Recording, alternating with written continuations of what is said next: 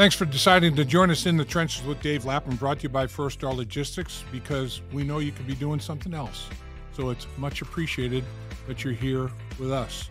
And we're coming to you from our studios that are second to none, provided by First Star Logistics. And our guest is a great one um, in terms of understanding football, communicating football, and being a tough football player. Zack Moss, running back for the Cincinnati Bengals. Very complete football player, good runner, can catch the football, can run good routes. Where he, he, he catches my eye as a former offensive lineman, he will stick his nose in there against anybody in blitz pickup. He protects his quarterback at all costs. Love that about him. And he's got a lot of good things to say about uh, the Cincinnati Bengals, even though they're off to a, a slow start. Uh, he's been around the league for a while. He knows what it takes to win. He's a winner. He believes in the locker room, believes in his teammates and 12 one game seasons left. First one against New York Giants, and he is fully aware of it. He knows they got to go to New York and get a W.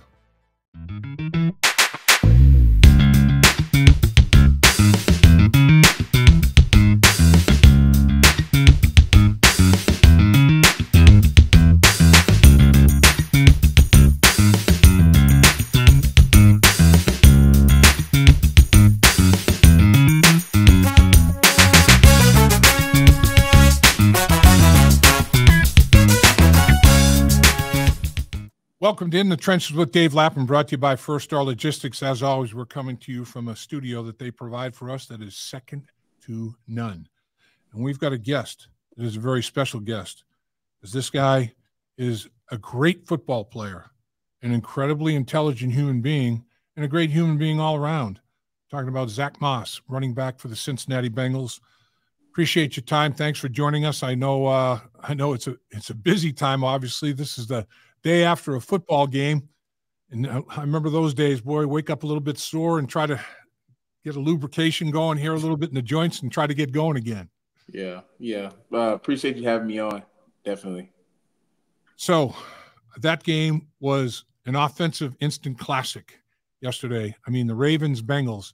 You know, when you look at it, oh man, it's a it's a division slobber knocker. You know, you're talking about physicality, defensive it was physical. I mean, there was a lot of physicality in that football game, but both offenses just performed and executed at such a high level. I mean, the quarterbacks were unbelievable in that football game. What what was it like playing in that game? Did you have a feeling that man, we have to score every time we get the football? I mean, as an offense, I think you always want to score every time you get the ball. Um, you want to lead the field with some type of points, either being three or or, or six. Um, you want to get some type of points on the board. Um, and you know that shows signs of a very efficient offense. Offense can move the ball up and down the field. Um, and I think we've, done a really good job of doing that the last few weeks. We showed that again uh, yesterday. Um, but you know, those guys played a great game. Um, offensive line did a great job holding up and blocking, and um, the past uh, receivers did a great job. Joe played out of his mind. Um, you know, came up a little short, but you know, again, you know, when you watch the film like we just did a few hours ago, obviously, in a win or a loss, there's always a lot of good and a lot of bad that you can get get better at. Um, so that's what we're trying to figure out and uh, continue to do. Yeah, I mean, Joe said right after the game that, man, they make things hard. You know, it's not easy playing against that defensive football team. We had some success, but they they made it challenging. He said, you know, it's not not a walk in the park, so to speak. Those aren't his words, but it's kind of like a summation of it, and, and that, that's the case. I mean, they've got uh, they've got they've got Pro Bowlers at every level of that defensive football team. That that's a good group, isn't it? Yeah, no, it's a really good good uh, defense. I've I played them probably almost every year. Been in the league now, um, and they just find ways to continue to get better. They've, they've had a lot of the same guys, but then they add a lot of new guys at the same time. But they just fit the system so well. They understand it. They play it to a T um, and they don't really beat themselves, right? You gotta you gotta execute at a high level, um, and we knew that coming into that game, and you know, I thought we did that uh, for for a majority of that game for sure. Roquan Smith, they credited him with 15 tackles in that football game. I mean, they've got a really good interior defensive line. The two tackles, you know, keep him pretty free and clean. But man, he is so good diagnosing, and and uh, there's no hesitation once he decides, man, he's going to go, isn't he? Yeah, he's he's a he's a hell of a player.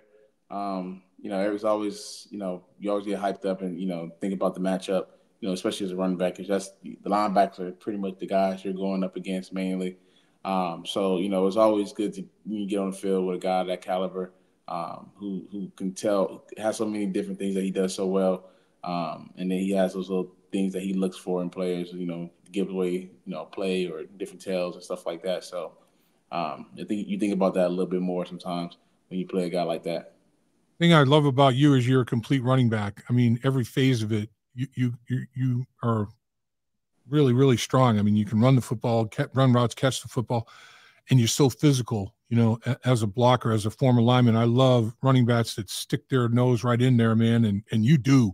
I mean, I, I don't care if it's a linebacker, a defensive tackle, defensive end, whoever it is, whatever the situation is, man, you're you're right there, and you'll stop people, you know, in their tracks. The in the uh, in the victory down there at Carolina, you stuck that defensive tackle, and then saw Joe, you know, uh, getting out of pocket a little bit, and you slide to an area where he, you can take advantage of a situation, man. That that's really good stuff. I mean, where did that come from? That that that will and that fire to compete against big bodies like that.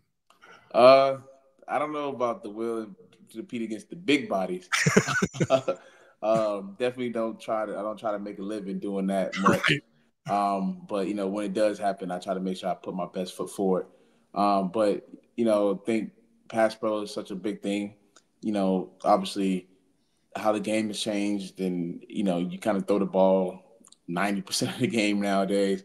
Um, so as a back, you got to figure out a way to stay on the field. Um, you can't be, you know, I've always prided myself in being a guy who can be on the field for all three downs, um, including the fourth down. Um, so, you know, that's something I've always taken seriously. You know, my coaches, um, especially my coach, my running back coach in, uh, in college, um, you know, took a big deal of pass protection and I see now, you know, years later down the road, how big of a thing it was and is to this day for me still. So, you know, when I get my opportunity to, you know, go pass protect up with the big guys and keep, you know, Joe clean and, you know, so he can go out there, you know, light it up and get the ball to the to the playmaking guys. Um, you know, I, I definitely take a, a lot of pride in that for sure. Against a very, very capable defensive football team like we talked about, Bengals offense has five drives of 70 yards or more. Five of them. One of them was a one play drive.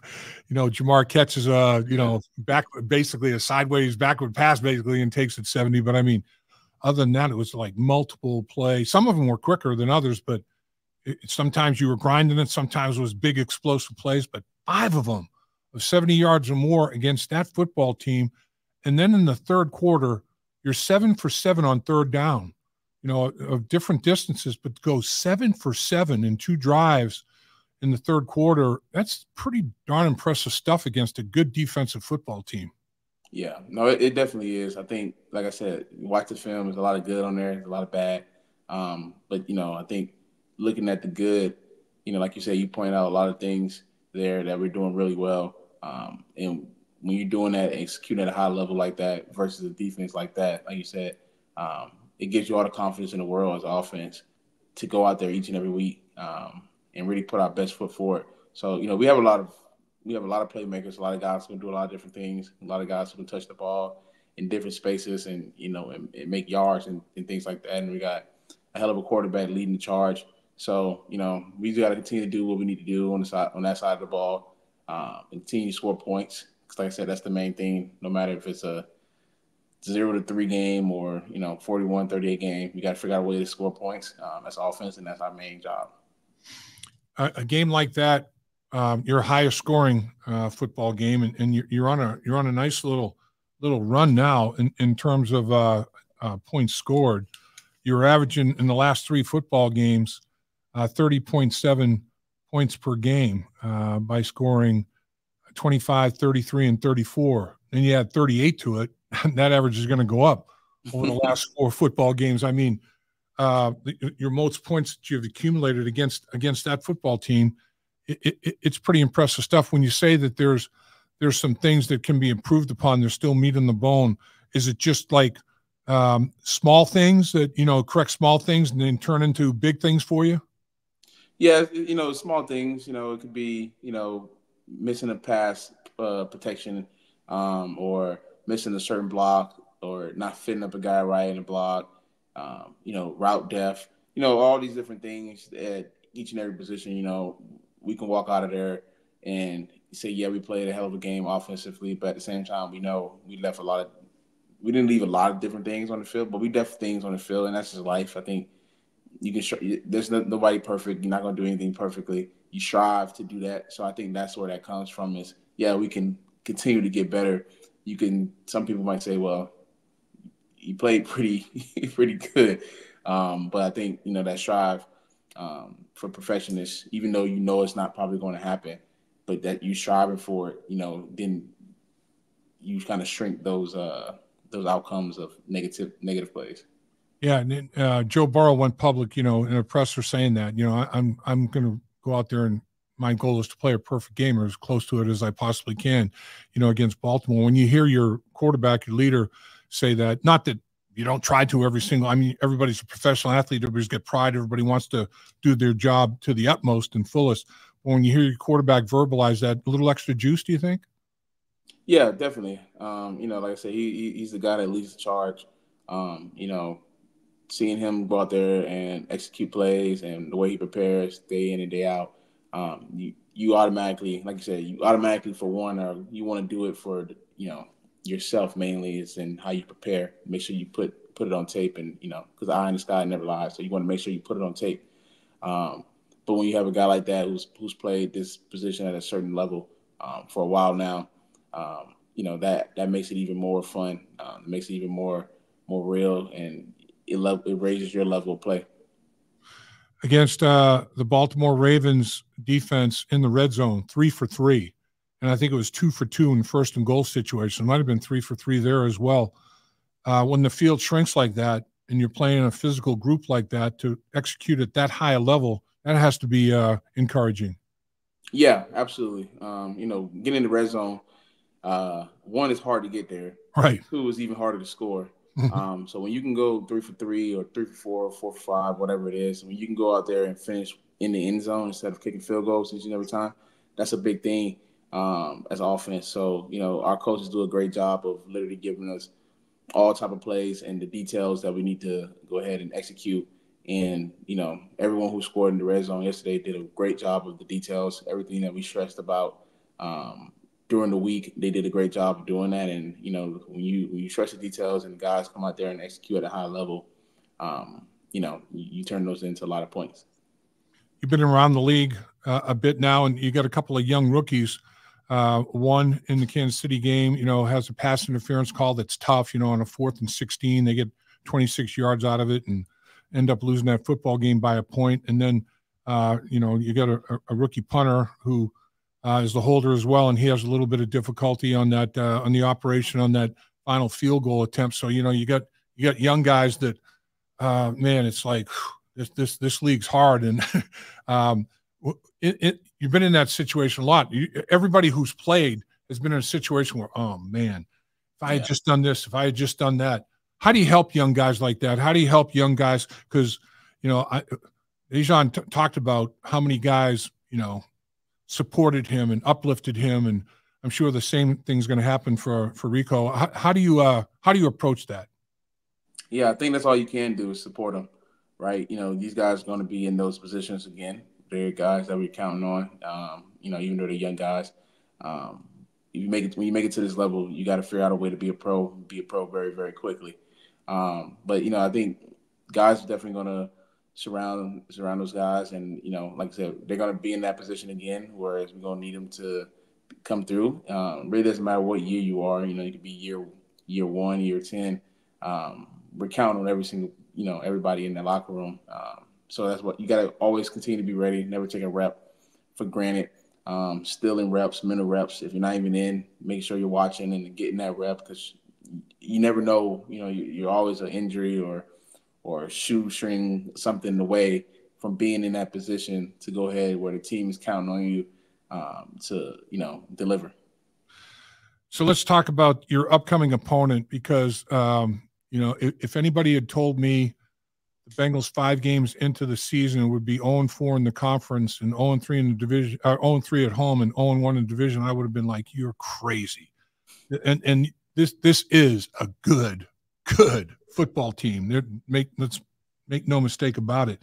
Now it's time to you know string some together, get back on track, and your first opportunity to do it. You got to play 12 one game seasons is what it boils to now, right? You have to take them one at a time. So next opportunity, go play the Giants and you know, looking at some Giants numbers defensively, the first thing that hits me right in the face is uh, 22 quarterback sacks. I mean, that's that's crazy. 22 quarterback sacks, and they've got 11 different players that have been involved in those 22 quarterback sacks. The uh, Lawrence has six. He's a, he's a great player, uh, defensive lineman, but you, you've got five different guys with two or more sacks, seven different guys with a sack and a half.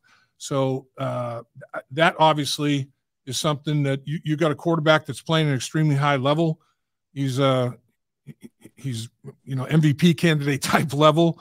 I'm sure the New York Giants are saying we got to stop the run and get after number nine, right? I mean, you you got to think that uh, got to be able to run the football against these guys, some in Akron, don't you? Yeah, um, you know, as a running back, I think every week you really think that this is the week we need to run the ball um, to make things a lot easier. Um, but you know, that part of it is not in our control essentially. But uh, I think you know, like you said, the number 22 sacks in five games is is uh, crazy. Um, I know I know I've played that team before in the past, and you know they got a really good um, front four for sure, in uh, Dexter Lawrence and uh, Thibodeaux and uh, yep. Brian Burns. Yep. So these guys who can play the run well as well, and also at the same time play play the pass game really really well. So Thibodeaux, Lawrence, and and Burns, they all can play the run as well. At the same time, they're really good at getting at the, at the quarterback, obviously. Um, so the biggest thing, you know, when you look at that number, just looking at the number by itself, it tells you you got to stay on track. You can't get in situations where you just allow them to, you know, pin their ears back and just rush at the quarterback. So, you know, being in second and in shorts and third and manageables and things of that nature, to where they can't, you know, scheme up all these these these different type of blitzes and you know run all the picks and the games and stuff like that, and you know make it really hard, try to isolate and get one on ones on certain things. Um, so definitely just being on, staying on track, keeping our offense uh, in the positive, um, and then you know everything else kind of take care of itself yeah, the Giants, they have a history of, of, great defense, you know, Lawrence Taylor, Michael Strahan, you know, they've got these, you know, historically good defensive players. They have statues of them somewhere probably around that uh, around that stadium. Uh, you you just played a team, extremely physical football team, and New York Giants will be at, at the at that level. I mean, they'll be that type of a defensive football team, won't they? They're gonna they're gonna get after it aggressively. Yeah, absolutely. Um, you know, they have some momentum definitely as well, coming off a win um, yesterday. Um, so playing in front of their home fans, you know, when you go on the road is always, you know, no matter who you're playing, going on the road is always a lot tougher just because, you know, the home team has momentum of being in front of their fans and stuff like that. Um, but like I said, they have a really good defense. Um, you know, the front four, um, 58, Bobby Okereke, the linebacker is really, really good. Um, so, you know, it's going to be a good matchup for us, and we're definitely looking forward to it for sure. And uh, it, it, during the course of the football game against the Ravens, I thought, oh man, that doesn't look good when your ankle got got twisted and rolled up like that. And I'm thinking, oh man, I hope. And, and, and there you are, out for a bit and back in the football game. I'm thinking this this dude has to have the most flexible joints that I've ever seen. I mean, that thing that thing was like that, that was been pretty darn good. I mean, it, it, it's uh, how's it doing? How you feeling the day after? Is it did it stiffen up overnight for you? Yeah, definitely stiffened up. Um, yeah, you know that's kind of the whole body, like you said right. here. Uh, definitely stiffened up, but you know, I go through my routine, you know, my Monday routine, and you know, get back in there tomorrow and get some more feel good work and stuff like that, and um, you know, just kind of see from there. But feel good overall, man. So just happy. And uh, this football game, Sunday night football. Uh, I used to look forward to, you know, the nationally televised games. Monday Night Football was the big deal with Howard Cosell and Dandy Don Meredith and all that, and uh, you know, playing with those guys uh, at the uh, at the at the in the broadcast booth was was always a big deal. Although you don't want it to affect how you prepare and play in the football game. In the back of your mind, you do know that a lot of eyes are watching. You know, uh, do you get pumped up? Do you get geeked up and amped up to play in a nationally televised game like Sunday Night Football? Yeah, absolutely. I think you know, growing up, you know, just watching those games and you know, trying to stay up. You know, we got school the next day, right? So trying to, yeah. So those are always um, really fun games. I think you get a lot more juice if something's, if you, you know, you might be tired, you might be a little achy, certain areas or whatever from the week before. You know, you know, got football body, football neck, all that type of stuff. Definitely going into week six. But you know, when you get a chance to play on the prime time um, stage in front of a lot of people. You got a lot of family watching. More family gets to watch because you know your games aren't always streamed and everywhere. Um, so having more people be able to watch you and stuff like that, I think you know it raises the level of your team and the other team. Um, so it'll be it'll be a really good game for sure. And finally, um, played in a, in a, game that was hot. I mean, it was it was hot on that football field. I, I, I can imagine on that on that field it heated up even even a little bit more and, and it was uh, the adrenaline's flowing. I mean so you end up breaking a sweat anyway with just the adrenaline. You're going against a a, a tough opponent. Um, so I, I imagine that uh, i mean you, you got to be tired. But fact is you guys are in great shape. I mean the, the level of play in that football game in the fourth quarter there were two highly conditioned in tremendous football shape playing against each other and that's going to carry over pretty well for you yeah, absolutely. Um, you know, when you when you're in those conditions, you know, Coach Coach Taylor did a great job of simulating that um, to the best of his ability during camp. Um, and you know, playing those games, he knew what the schedule was going to look like, and you know what the weather usually is around that time here in uh, Cincy. So he did a great job of you know when it was a hot day, making sure we're you know in training camp, full pads, we're outside, and we're really getting it in, so we can go through those those things mentally can execute then. Um, so when you get a chance, like yesterday, to go out there hot, um, you know, you're on the turf, uh, you're wearing black jerseys, black cleats, black socks, you know, everything. the sun kind of grabs that a little bit, even bit even more. Um, yeah. So, you know, did a great job of uh, simulating that for us so that way we can go out there mentally um, and execute when we had the opportunity yesterday. And final, final uh, question uh, or thought uh, the Patriots. You know, I've got uh, relatives back in the in the Boston area, and they say that New England, all the all the writers in New England are saying, "Oh boy, there's a mutiny brewing." brewing." You know, the offense is pointing fingers at the defense, defense pointing the finger at the offense. You know, the Patriots after their victory against the Bengals, I guess they were thinking Super Bowl, and now they've lost four in a row. And uh, and the one thing that I always admire about this uh, this football team and this locker room and the organization, the coaching staff everybody has a healthy dose of respect for everybody else. I mean, it, it this this uh this football team you're not gonna you're not gonna break that bond very easily at all. That's a big deal for this group, isn't it? Yeah, absolutely. I think you know, especially when I first came in, you know, you can tell it was a bond. Um, yeah, guys enjoyed playing with each other. Um, for one, um, you know, but I think the biggest thing is, you know, you definitely got to stay together. Um, you know, that message has been preached uh, obviously um, to to us as well. Um, and the guys take a big uh, you know deal in that for for sure. Um, because if you if you if you don't, you know, you can't complete anything by yourself, right? You, we need we need those guys. Those guys need us. Um, we're we're one. Um, at the end of the day, we all put the same jersey on with the same name in the front um, and the same stripes on the helmet. So when you think about it like that, you know, you can't do it without them. So we, we got to stay together. We are, we will. That's not something that anybody in the locker room is even worried about. Um, we just got to figure out a way to continue to get better um, and, and and get in that win column and continuously do it uh, throughout the weeks. We appreciate you taking the time to join us. Uh, you know, in my mind, pound for pound, you're as tough a football player as there is in the National Football League. You're an intelligent football player. You're a heck of a human being, and uh, we appreciate you giving us some of your time today. I know, I know it's not easy. I know there's a lot going on. The body's like, man, you know, and uh, season hasn't started the way you had anticipated. You're a pros pro. Appreciate you, man. Absolutely, my guy. Appreciate you having me on. You're the best. Yes, sir. Thank you. Thank you. Lapham here, and every day I am grateful for my experience to have played professional football.